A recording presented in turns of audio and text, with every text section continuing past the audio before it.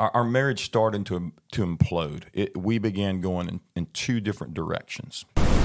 And yeah, what what now? What what you know? And I can remember that began a series of, of nights, literally, of driving to Texas towns on a nightly basis for a while, just trying to find her. I didn't know where she was.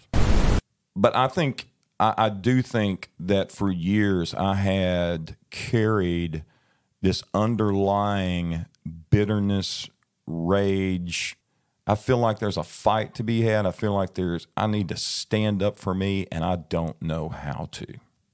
Anxiety is an interesting creature, man, uh, especially anxiety attacks, because they can just come out of nowhere. And, and during, you know, during our first year of marriage, I can remember times I'd be driving and thinking I was going to have a heart attack. Got to the point where I, I wasn't comfortable driving more than maybe three miles away from our house. It just jacks with your mind. I want you to think back on your life for a moment. Are you anywhere near to where you thought you would be? Has life thrown you some curveballs? Maybe you have some broken relationships. You know, relationships have a tendency to totally shift the direction of our lives. I have been through divorce myself, and it totally altered the course of my life. Can God give me purpose even after divorce? Or am I just stuck holding this bag of lemons? What about character defects like anger and anxiety? Where do they come from? These anger defects can derail me and completely stop me from forward progress in my life. How can God take things like divorce, anger, and anxiety and turn them into peace, joy, and purpose? These are the questions that I want to ask our guest today as he continues his life change story. I'm Eric Hutchinson, and this is the If Nothing Changes podcast. So, hey, friend, thanks for joining me again. So, David, on the last episode, we talked about your childhood and we talked about a toxic relationship in college that continued to be a struggle for over a decade. I want to shift our conversation today to other areas in your life. Let's talk about ministry for a moment. I know you went directly into ministry after college, and I know that you are in ministry today, but would you say that you received a calling to ministry? And if so, when did that happen?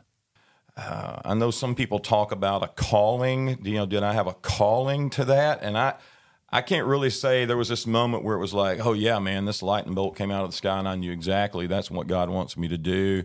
Uh, in, instead, it was one of those things that uh, everything in my life just seemed to be moving that direction. There was no other direction for me that seemed logical at all. You know, it was like these are these are passion areas. I love doing this. I love trying to serve the Lord through doing this kind of thing. And so, so music and, and youth ministry, and so that that was the thing. Okay, I'm going to go to college, and and I'm gonna I'm gonna do whatever it takes. I don't know what that is, but to, to become one of those guys. And uh, so yeah. you knew going into college. I mean, a Baptist college that you yeah. were kind of headed into ministry. So, like you said, yeah. it wasn't a lightning bolt necessarily, but you were headed that direction. Right. And, and, and, and as you say that, it makes me just realize the impact that my dad and mom had on me and my youth pastors in that it didn't, it didn't scare me away from that,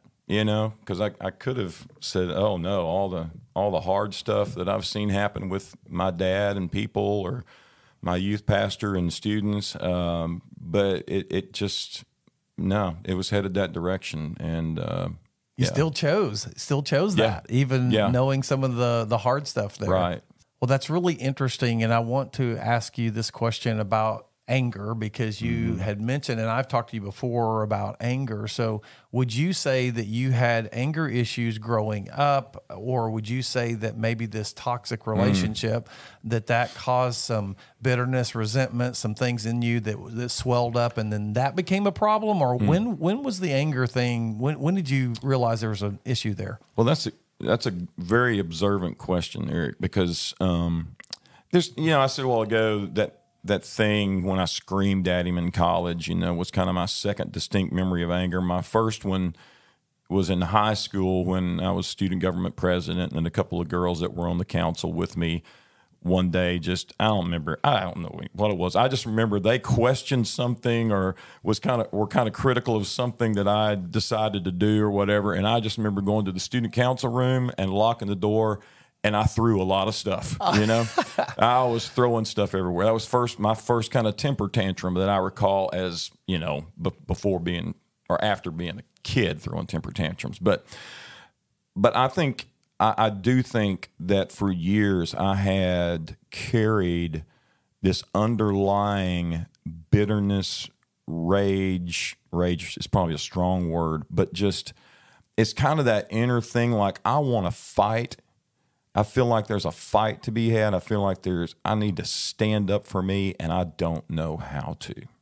And so so I, yeah, I think I think that that thing of, of, of even just his the advances that he made toward me and not being able to process that out and feeling alone in that. Yeah, I was mad about that.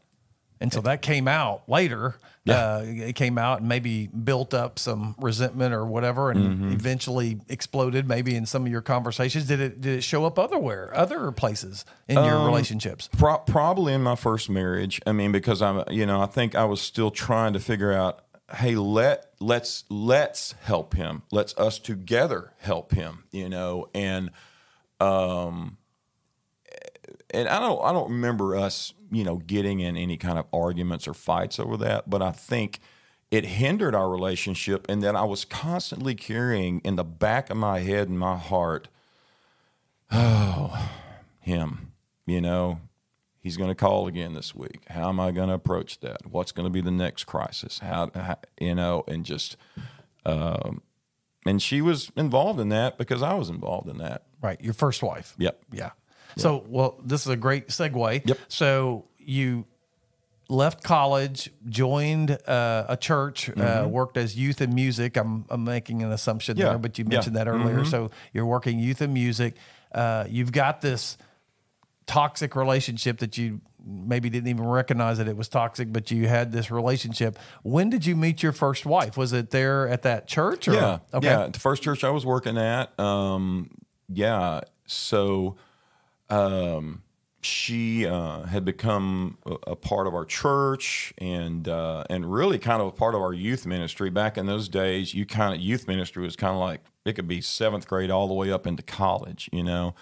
And um, so she uh, she was she was in college and and you know I was fresh out of college and I, I don't know I was probably um, yeah a couple of years into this first job as a single guy you know and and uh, and she came along we met started dating and and and ultimately yeah got married yeah So, did uh, any of the, uh, and I don't know if you recognize any of your character defects or dysfunctions, dysfunctions Hmm. whenever you were growing up, but how did that bringing into your first marriage? Were Hmm. there any of those things that uh, surfaced or that Hmm. you saw? I mean, how was your relationship with your first wife? Yeah, that's man, that's a great question. You know, I think we both went into that marriage with with a very idealistic idea of uh, of just serving God, right? I think that was the biggie. You know, I had had some mentors in my life that I was observing their their marriage relationships, and man, they were just you know doing big things for God. And I thought, man, I, I want my marriage to be like that. And so I think we both were kind of looking at that, emulating that, at the same time knowing that we both had not uh, maybe had all the groundwork that these couples had had, you know. So we kind of almost stepped into a role without the foundation. We knew how to do certain things. Uh, I speak for myself, kind of how to act the part, right? And um, but as far as things that I brought into it, I would say, you know, I brought codependency and people pleasing in, in, into our relationship. It was hard for me to say no to people in the church or to events, you know. So as a youth guy or a music guy, it's like if another church called and said, "Hey, can you come do a concert?" or "Hey, can you come speak to our youth?" Just like, man, that that makes your bubble, you know, kind of blow up pretty big. And uh, so, man, why would I say no to that? Right?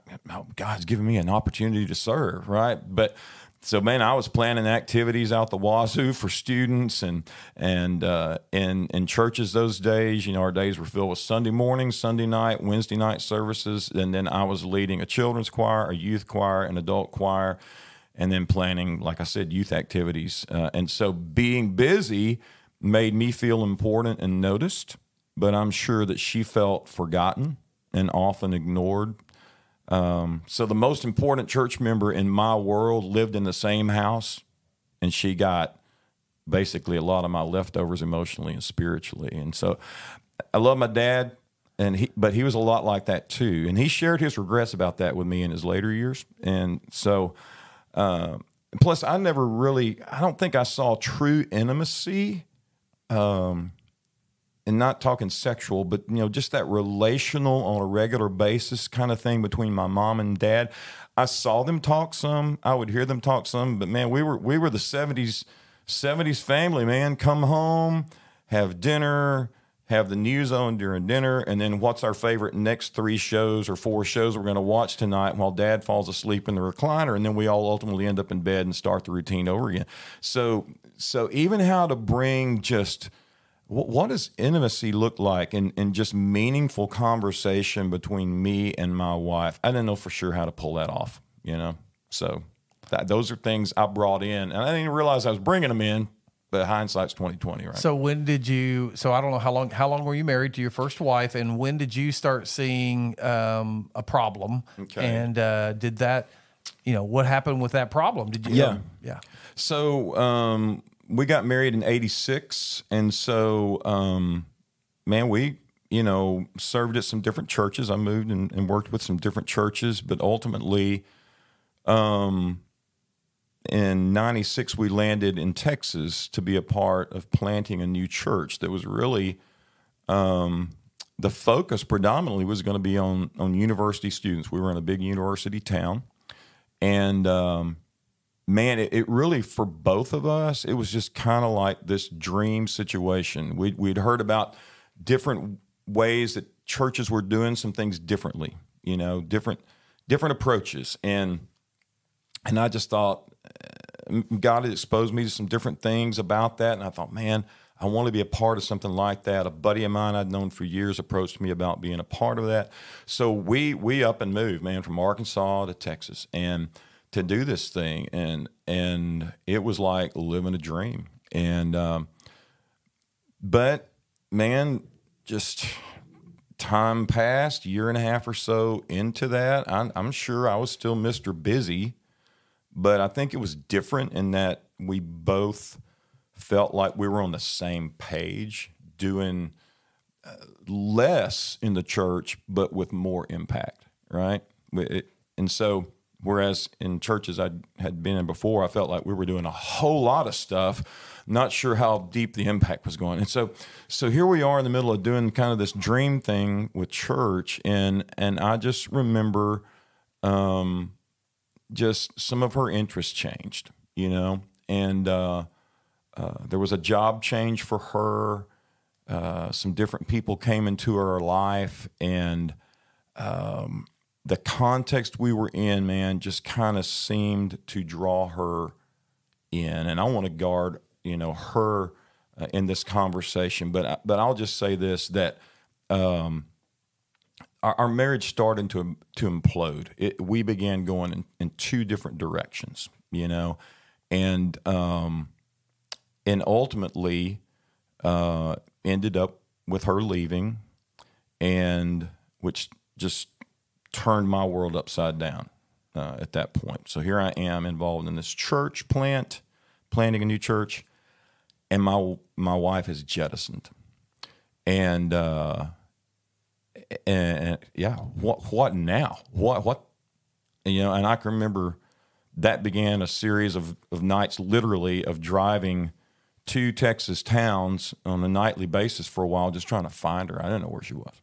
and ultimately her making contact and, and we and we went through a series of months of like you know um, trying to get back together uh, counseling i was in counseling for going on a year and a half plus after that trying to figure out how do I fix my marriage.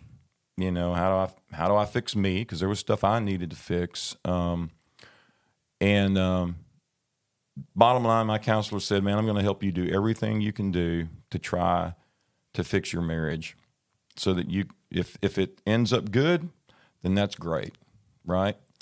If it doesn't end up the way that you hope, at least you you know you've done everything you could." And I and I always look back and appreciate that, you know. And so I feel like I did, you know, I feel like I did.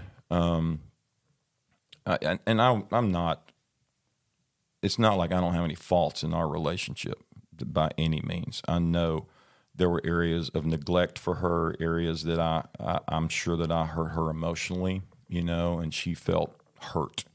Probably brought up some some bad memories for her, you know, maybe. And uh, but ultimately, you know, she just she just didn't want to be married anymore, you know, and it ended in divorce. And so uh, that was in 2000, and man, that that moved me into uh, a period of depression. Started having anxiety attacks, and uh, yeah, life was pretty crazy at that. Did time. it end ministry work for you, or what? What did you do? So I mean, you, Hmm. you, you know, the last we heard, you were at a church plant, and so uh, so did that Yeah. did that go south, or what? What happened? Well, that's a great question because you know, growing up, typically that would just be that's it. You're done, right? And um, and so, kind of in the middle of this, before the divorce had finally happened, um, I, called a buddy of mine, actually my buddy that played mandolin and bass with me in junior high school in that little class. We we'd stayed in touch through the years and. I called him up, and he was living about three hours away from me down in Texas. And I said, "Hey, man, I'm just I'm calling you just to let you know what's going on in my life." And I talked for a little while, and then it got silent. And and he said, "Well, David, I'm six months ahead of you in the same process." And you know, my jaw just dropped. I thought, "Oh my gosh," because you know I'd been in his in his first wife's um, house and knew their kids, whole nine yards, and he's going through the same thing. I had not a clue. And so we began to walk that road together, you know, checking in on each other. And he was he was learning some things that were helping him in that process, and he would share those with me. And I just remember one day I had to just been at one of my lowest spots because inwardly you're thinking, okay, my marriage is imploding. I haven't told my mom and dad because I just thought I don't know. I think I, I thought my mom would have a nervous breakdown. I didn't know what what it would do, and so I'm I'm, I'm carrying that, and um, and I and I am thinking, man, this could be it. This could be it as far as like you know ministry career is concerned because most people don't survive this and and still keep a ministry job. And I just remember my buddy saying, "Hey, David, look, this is going to be hard to hear, and you may not believe this, but I'm just going to tell you." um, there's still hope and God's still got a plan for you. And my response, very holy response, was, You better be right. Because inwardly, I, I, I, I knew what he was saying, but I thought, nah, I don't know. You know? And so, um, so yeah. so you're divorced. You Mm-hmm. so you've got this little conundrum here. You're you're a minister. Uh, you were in ministry, Mm-hmm. but now you're divorced, and I don't know how long all of that took. But so where do you go now? Yeah. What, what's next? Man, I, um, yeah, I, I distinctly remember being in Texas, being in the place where for a year and a half, there's just a lot of bad memories. Okay. Um, and just, I remember one day just telling the Lord, Lord, I'll stay here as long as you want me to stay here. I'll do whatever you want me to do. Uh, there came a point where a buddy of mine I'd gone to college with, uh, uh, here in Rogers, he was living in Rogers, and he was pastoring um, a new a new church. And he and I had actually served together in another church previously, but he called me and he said, "David, we hadn't talked in forever, but but I uh, I heard what happened, and um, I'm just calling to say that that our music our music minister has moved uh, to Missouri, and um, I don't know if this would be good for you, but if you would consider uh, coming to Northwest Arkansas and just being a part of this, he said it's it would be part time, but uh, maybe maybe you need a place to heal, and I think our church could be a good place for that. He said, I know a place where you could get another little part time job, and and I I just I thanked him for it, told him I would pray about it, and I just remember driving around in in my truck in that Texas town and just and just having this sense again from the Lord of in essence, man, you're released from here. You're done. You're done. You can go. And um, and I decided I'm going. And so so uh, I moved back uh, in 2000 uh, to Northwest Arkansas and to start over.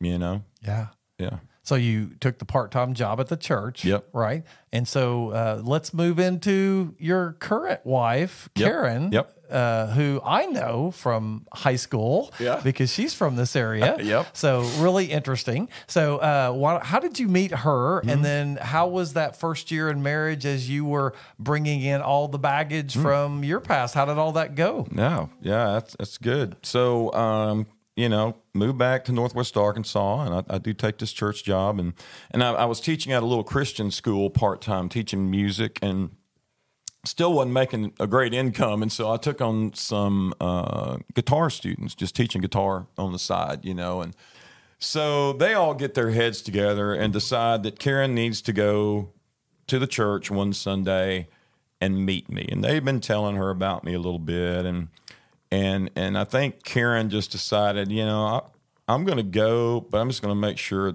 that they're not all a part of some whacked out cult church, you know. And uh, before I ever meet this guy, so so she went, and and we met that day, you know. And honestly, I was at a point I'd tried to date just a little bit, and I just I'd I'd given up on that. I'm like, oh my gosh, this is crazy. Trying to jump back in the dating world, and I'm like, okay, God, if that's something you want from me, you're gonna have to you're gonna have to pull that one off, you know. Well, he pulled that one off. I mean, it, it was just amazing uh, that uh, Karen and I met that day, and inwardly, I'm like, I'm not, I'm not looking, I'm not looking for anybody. And uh, Karen thinks I set this up, but I didn't. But mysteriously, I think by God's hand, we ended up at, at the house of some people that night for a, for a community group, and and and it was in the summer. And the community groups, basically in the summer, we just everybody who came to church that day threw their family's name in a hat, and they drew them out, and and like 10, 10 families or however many we would go to this house, y'all would go to this house, whatever, you know? And uh, it was just to help kind of mix us up in the summer to help you get to know other people. And and yeah lo and behold who who ends up at the place where i'm at? Karen does. And uh and and through that man um it was like god uh very quickly made it clear i've brought you two together. And karen had been through a similar situation as me. And uh, she knew very she had a very uh, clear list that uh, thank god that i guess you know i passed the test. And uh, but i i knew i knew what i wanted and what i didn't want and she was the same and uh, we met and and it wasn't too long before uh, we got married yeah So, you know, back to anger, you mentioned even anxiety attacks and Mm-hmm. some other stuff. So, what were some of the challenges that you and Karen Mm. have dealt with in your marriage, which there's been many years? And what would you say would be uh, maybe a turning point for you? Oh, that's good. Well, yeah, you know, coming into the marriage, interestingly enough, the anxiety attacks attacks had not subsided. They had not gone away. And I, you know, I'd done a lot of counseling about my divorce. I'd been through a divorce recovery group down in Texas. Um, but I, I, I think the whole anxiety attack thing um, was probably just some underlying, still like, um, what am I going to do? Who am I going to be? When, am I going to get back on the career path? What's you know? And I, and I was working and and and doing that, but I think there was just a lot of still underlying fear and insecurity, you know, um, and, uh, and and still probably some underlying anxiety still about the guy from college because yeah, that that relational door was still kind of open, you know. Um, and I, you know, I tried to be a little bit more uh, intentional in some things in that relationship, not letting myself be run over, and and um, but um, yeah, it, it, anxiety is an interesting creature, man. Uh, especially anxiety attacks because they can just come out of nowhere, and and during you know, during our first year of marriage, I can remember times I'd be driving and thinking I was going to have a heart attack, you know, or got to the point where I, I wasn't comfortable driving more than maybe three miles away from our house. It just jacks with your mind. And, and all I can do is just say, thank God for Karen because she walked with me through that, tried to understand what was going on as best as she could. Um, so, um, I, I think in that context, um, as we were able just to talk about it, and she began to understand it, and and I continued counseling. Um, it, there, there came a point when when the anxiety attacks subsided, and I think that could go hand in hand too with with being involved uh, with Celebrate Recovery. Ultimately, uh, I came on staff with uh, Fellowship Bible Church in Rogers, Arkansas, in 2010 to work with Celebrate Recovery, and and even though that's quite a few years in, I think um, uh, just being able to process out a lot of that stuff from the guy in college was was huge. With some other men, I'd processed it out some with a counselor and a, and a good friend, and as well. So I think having kind of let a good friend into what all happened, and for him to just go, man, I'm sorry that happened to you, but I still, I still love you, bro. You know, was probably the first steps to some of that anxiety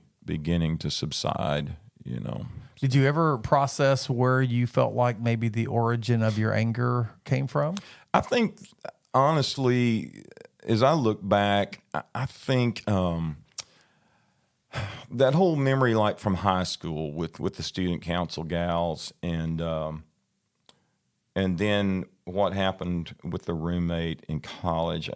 If I think about kind of two words in that insecurity and and being attacked, you know, I think anytime uh, that something was happening to me that made me feel insecure, it really wasn't attack an attack on my person, but but I took so much into account. If you are criticizing me, then I I must be bad. And and instead of getting depressed about that, I think for whatever reason, I wanted to to just bounce back and maybe maybe maybe show you how bad you are. I don't know. There there was this kind of this fight nature, you know, fight or flight. And and instead of fleeing, I think uh, I was trying to figure out how do I defend myself. I feel really insecure right now how do I defend myself in this? And and and I feel like I'm being attacked. And and so it's kind of interesting. I, I don't know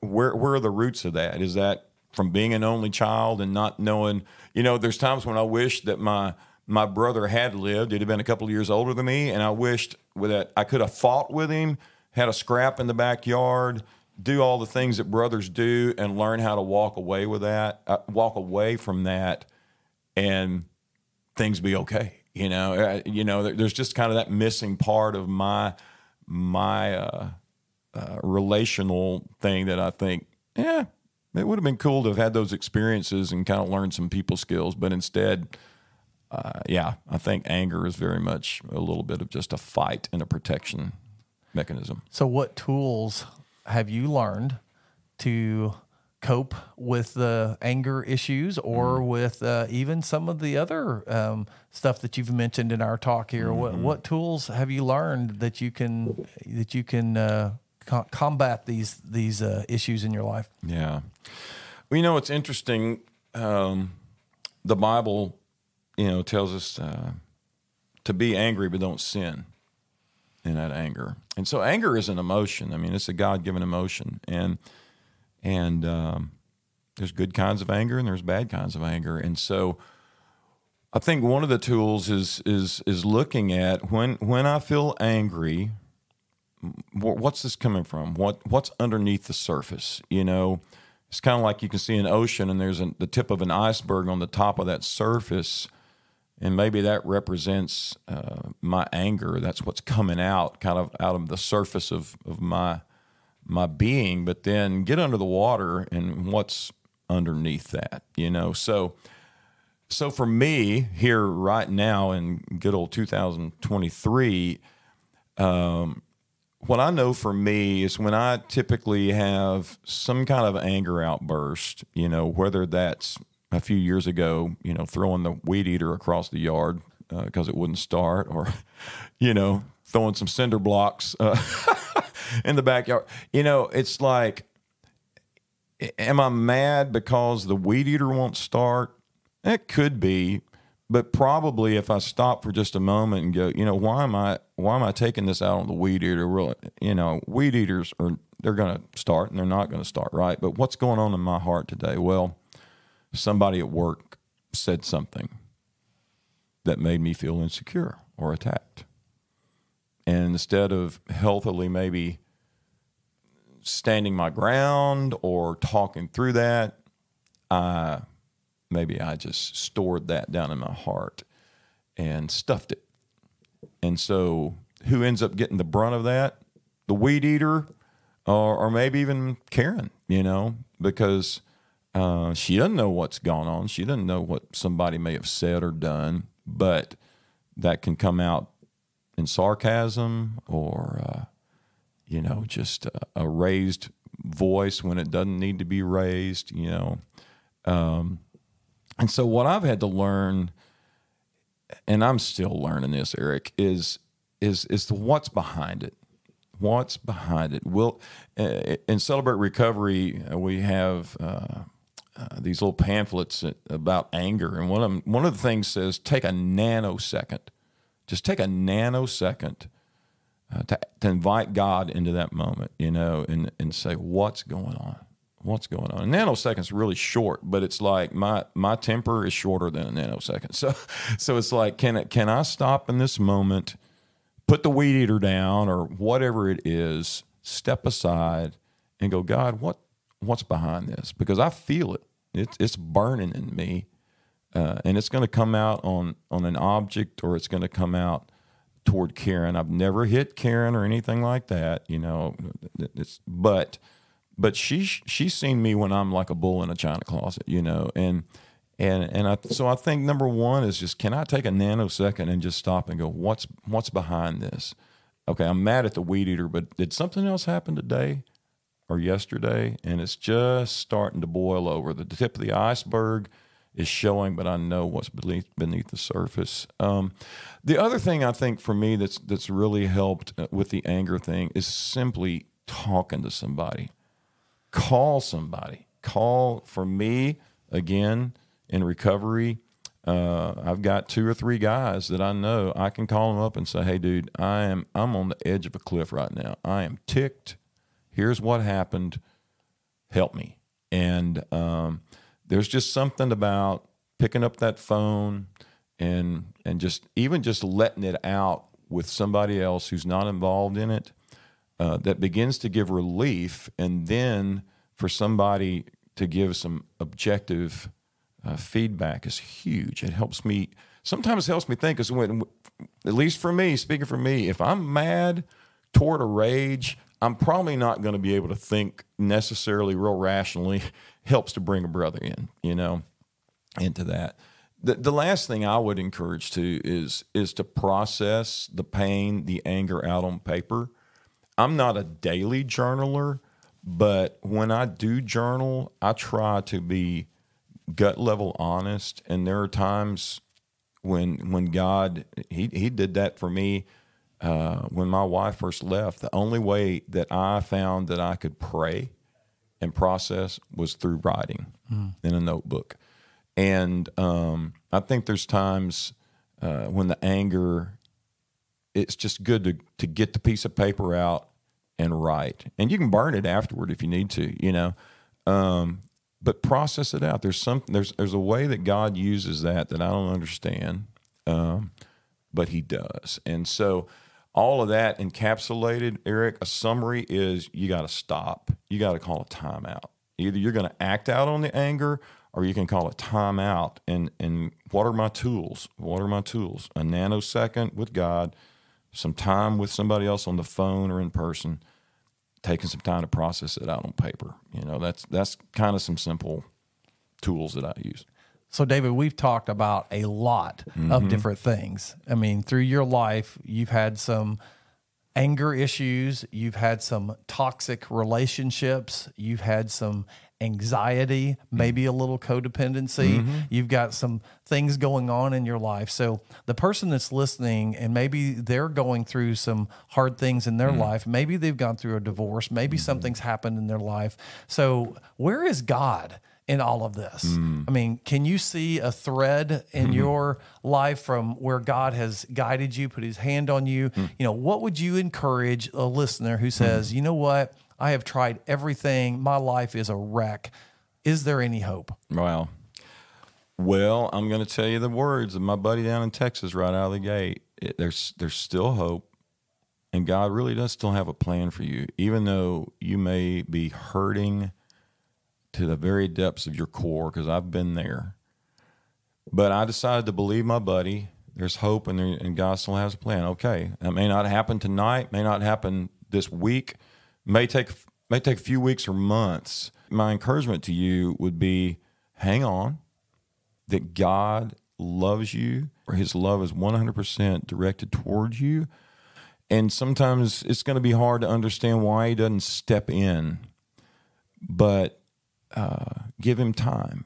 But I also encourage you to know that sometimes He, he may be waiting for you uh, to make a next step, you know, and that could be I, I need to get a counselor. I need to find a trusted friend and tell them what has happened to me. I wasted a lot of years carrying a lot of stress and anxiety.